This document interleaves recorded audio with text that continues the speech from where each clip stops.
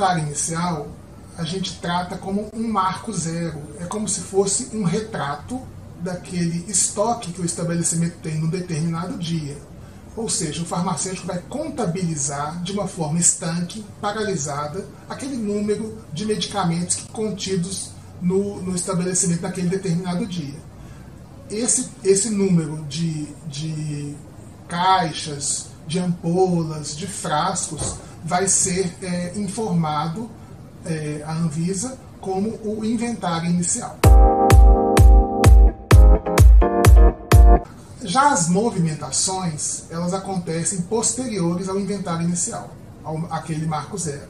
Então as movimentações, elas são de entradas, saídas ou perdas. Né? As entradas, elas são é, basicamente feitas com notas fiscais, com transferências. As saídas, basicamente com receituários, transferências também, e as perdas, é, principalmente com a validade expirada de alguns produtos, é, incinerações, etc. Vou falar um pouquinho agora sobre as funcionalidades do sistema, aquelas mais utilizadas pelos farmacêuticos das, das farmácias. É, nós temos principalmente o histórico de, é, de inventários, o histórico de movimentações, os dados das empresas e os status de, de transmissão.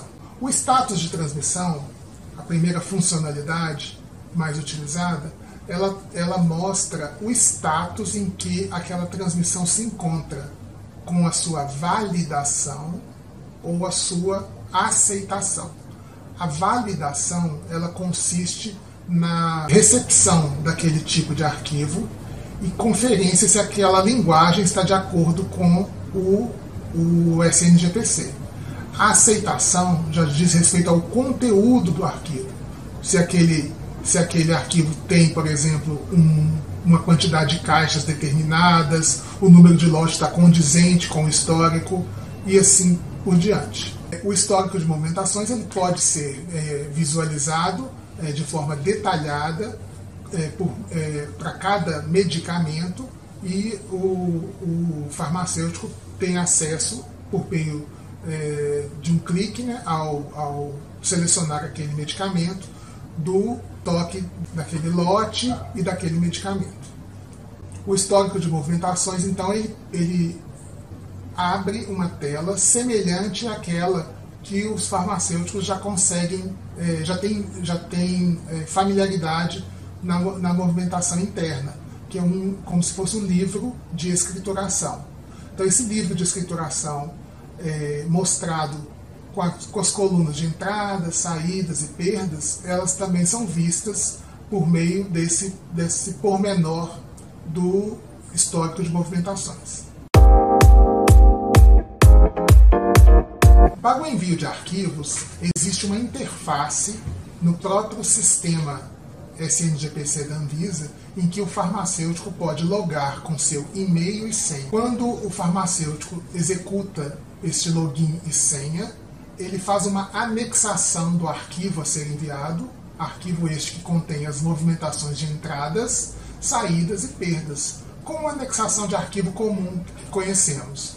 Ele então faz essa anexação e procede ao envio do arquivo, gerando então aquela tela em que é, o farmacêutico pode visualizar a validação e a aceitação de acordo com o conteúdo estando correto ou não. Validação de acordo com a linguagem e a aceitação de acordo com o conteúdo daquele arquivo.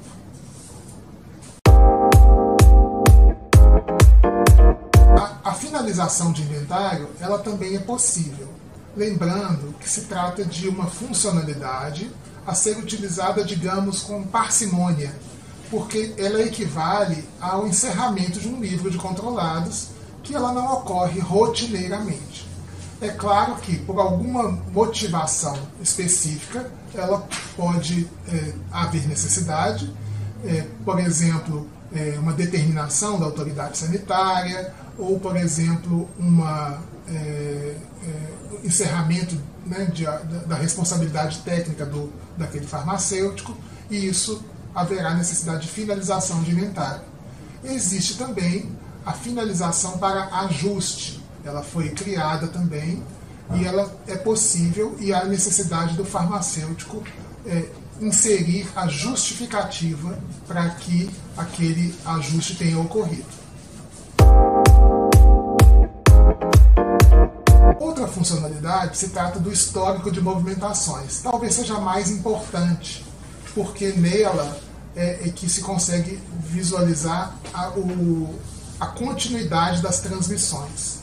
Para isso, o responsável técnico tem como é, visualizar com, com clareza a, a, o histórico todo do, do, daquele medicamento. Para isso, ele seleciona também é, o medicamento em questão e ele vai visualizando entradas, saídas e perdas. E é, nesse caso aparece uma figura semelhante ao livro de produtos controlados antigo, né, com as colunas todas mostrando é, as ações né, de entrada, saída ou perda, e o farmacêutico consegue então visualizar é, dessa forma é, mais didática, né, da mesma forma que o livro, e também é, dando continuidade às transmissões, é, entendendo se houve algum erro, se há algum lote é, informado de forma inadequada, etc.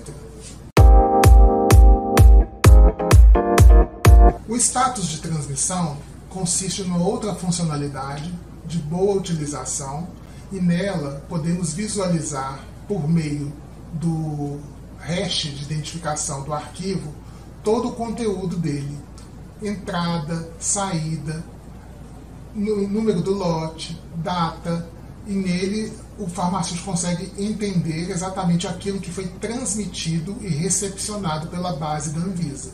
Então, ao clicar em cima do hash de identificação, o farmacêutico tem esta possibilidade de visualizar o conteúdo daquele arquivo.